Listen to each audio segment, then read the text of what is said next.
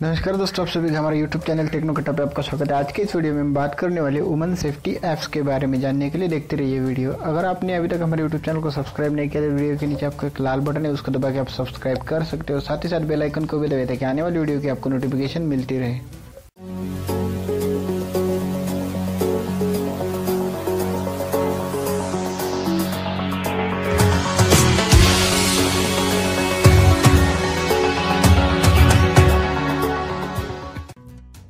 सबसे पहले बात करते हैं लाइव थ्री सिक्सटी में ऐप्स के बारे में। एप्लीकेशन वर्क इस तरह करता है। आपका वाईफाई आपका जीपीएस लोकेशन और आपकी कॉलिंग लोकेशन की मदद से ट्रैंगुलाइजेशन प्रोसेस के थ्रू ये आपका लोकेशन सर्च कर लेता है। और जिस नंबर पे आपने सेव किया है, उस नंबर को फॉरवर्ड कर देता है। उस एप्लीकेशन में आपको एक पैनिक बटन यानी एस बटन होता है।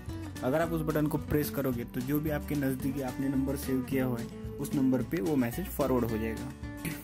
यह ऐप दिल्ली में दुर्भावपूर्वक निर्भया मामले के बाद बनाई गई है। Geofence, stalk, shake to alert unsafe area, alert और हिट मैप जैसी ज़बरदस्त विशेषताएँ है। इसके अलावा ऐप प्रत्येक 30 मीटर स्थान को अपडेट करता है।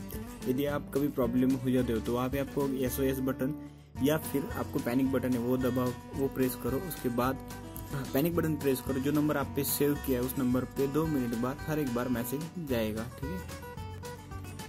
तीसरा ऐप है हमारा आई फील सिप इस एप्लीकेशन में होता क्या आपके पावर बटन को आप पाँच छः बार प्रेस करोगे तो आपका अलर्ट मैसेज सेंड किया जाएगा। इस एप्लीकेशन को वर्क करने के लिए नेटवर्क की या फिर अगर आपका मोबाइल स्विच ऑफ़ है तो भी ये काम कर सकता है।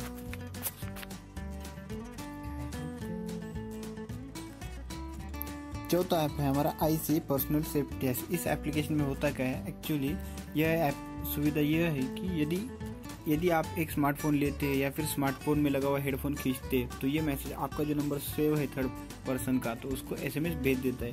इस एप्लीकेशन में आप near police station near hospital भी देख सकते हो। इसके साथ ये एप्लीकेशन आपको सेफ्टी टिप्स भी देता है। आप हमारा channel anti rape woman app इस एप्लीकेशन में होता क्या है?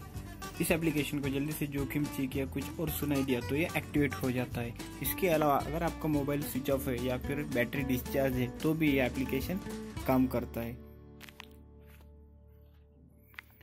इसके अलावा, अगर आपने आपका मोबाइल का पावर बटन पाँच छः बार दबाया तो भी ये एप्लीकेशन काम करता है या फिर आपका जो नंबर है उसको सेंड करता है।